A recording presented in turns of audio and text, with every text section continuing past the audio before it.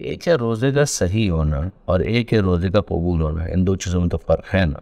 रोज़े का सही होने का मतलब यह है कि फ़िकी एतबार से जो अहकाम है उनका ख्याल रखा जाए नहीं है ठीक हो इंसान मुबतला थे रोज़ा से परहेज़ कर रहा है। खाना नहीं खा रहा पानी नहीं पी रहा इसी तरीके से दीगर जो मुबतलात हैं उनसे अपने आप को फास्टे पर रखे तो उसका रोज़ा सही हो जाएगा। यानी अब इस रोज़े की कज़ा नहीं करनी उसको। ना कोई कफ़ारा उसके ज़िम्मे पर है ना कोई कज़ा उसके ज़िम्मे पर है।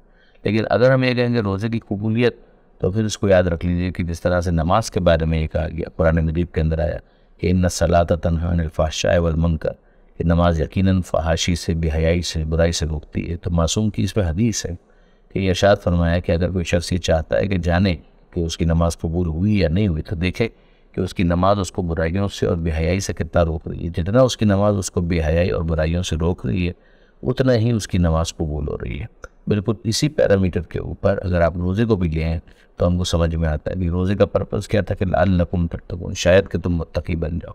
तो जितना इंसान के अंदर रोज़े की वजह से तकवा आता जा रहा है सेल्फ कंट्रोल सेल्फ डिसिप्लिन आता जा रहा है, उतने उसके रोज़े कबूल हो रहे हैं। और जितना उसके अंदर इजाफा नहीं हो रहा तो उसका मतलब ये कि मुमकिन रोज़े सही तो हो जाए और उसको गज़ा और कफ़ारे की नौबत ना आए। लेकिन ये कि बहरहाल इस रोज़े की कबूलियत तो बहुत ही ज़्यादा डाउटफुल है। बाकी परवरदिगार आलम करीम इंसान को उम्मीद रखनी चाहिए कि आज अगर वो इस तरह से रोज़े रख रहा है तो कभी वो वक्त भी आएगा कि इन और बेहतर रोज़े वो रखने रखेगा, लगेगा।